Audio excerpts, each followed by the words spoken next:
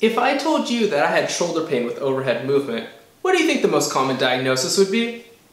Most of the time, it's going to be shoulder impingement or subacromial impingement syndrome. And someone might explain to you that the acromion process in the humerus, as you're lifting your arm up overhead, it's compressing either the bursa or the supraspinatus tendon, and that's what's causing your pain. So you need to strengthen the rotator cuff muscles or the scapular stabilization muscles around the shoulder to help decrease that impingement. Or if you've had an x-ray and it showed an osteophyte, someone might actually recommend that you get the osteophyte or whatever else is in the shoulder that's causing that impingement to be removed. But when we look at treatment approaches, are conservative treatment approaches actually effective in the treatment of subacromial shoulder pain?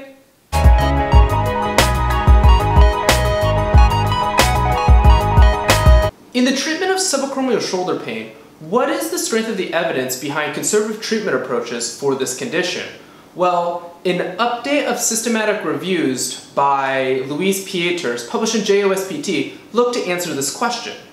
And this was actually an update to a 2013 paper by Littlewood, which looked to answer the same question, but there wasn't quite as much research to support any recommendations. And so in this study, there were 16 systematic reviews that were included.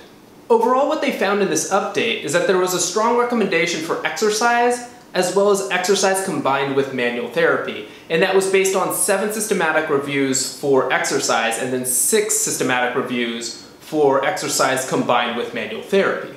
They also found that based on four systematic reviews that there was moderate evidence to support the use of corticosteroid injections, either alone as like a standalone treatment or combined with traditional exercise. And for passive therapies, they found that there was either no evidence to support these therapies or that there was actually evidence against using these therapies. And the passive therapies that were included in this section were low-level laser therapy, which actually had a strong recommendation against the use of it. And then for therapeutic ultrasound and shockwave therapy, they found that there was little evidence to support either of those modalities. And obviously this research article is helpful in summarizing the systematic reviews and showing us that exercise and exercise combined with manual therapy are effective in the treatment of subacromial shoulder pain.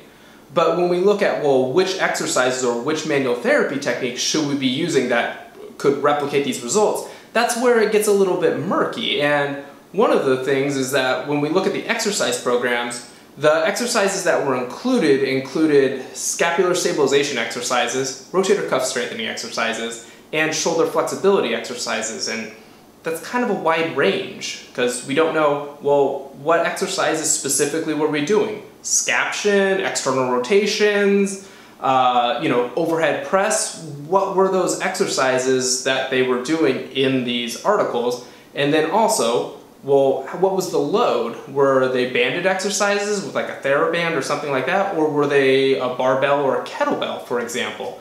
And unfortunately, this research article actually pointed out that the exercise protocols are not really well reported in that when they looked for some of the systematic review uh, exercise protocols or even the randomized controlled trials that were included in those systematic reviews, they weren't able to actually find some of those exercise protocols that were used. And that's problematic when we're trying to answer some of these questions of which exercises should we be using?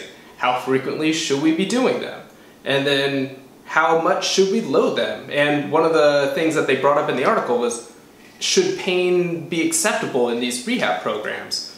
Uh, majority, or at least some of the consensus is, is that uh, pain is okay as long as it doesn't persist for over 24 hours and the pain level is less than a 5 out of 10. But we don't know if these exercises were pain-free or if they were actually invoking pain.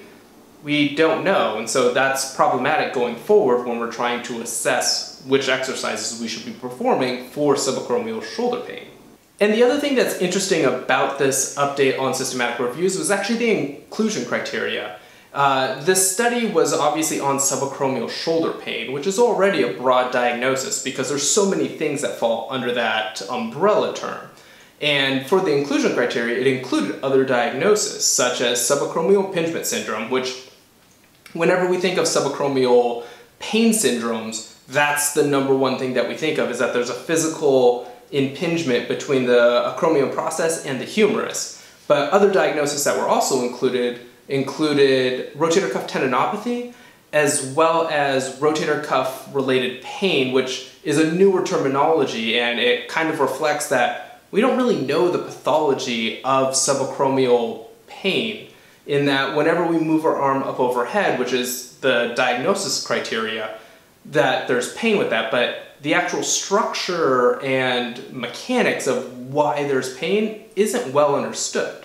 And that's obviously reflected in the terminology of impingement. And when we look at some of the treatment for actual impingement, whether it was an osteophyte on the acromion process, and so the space in between the process as well as the humerus was decreased, well, that would typically lead us to believe that surgery was the option because you had to remove that osteophyte, make more room in the subacromial space, and that would reduce the pain. But when they've looked at studies that have compared surgical approaches compared to conservative approaches, they found that the outcomes are very similar, especially when we look at long-term outcomes. And so it's not actually the osteophyte or the decrease in subacromial space that is causing the pain in these conditions. Therefore, our lack of understanding of what actually causes subacromial pain, especially with overhead movement, that obviously is going to be problematic when we're looking at treatment approaches. And so it's great that we know that exercise and exercise combined with manual therapy are helpful in these conditions it's there's more information that we need to be able to figure out well what's actually driving this pain syndrome so that we can actually create more effective treatment approaches for subacromial shoulder pain.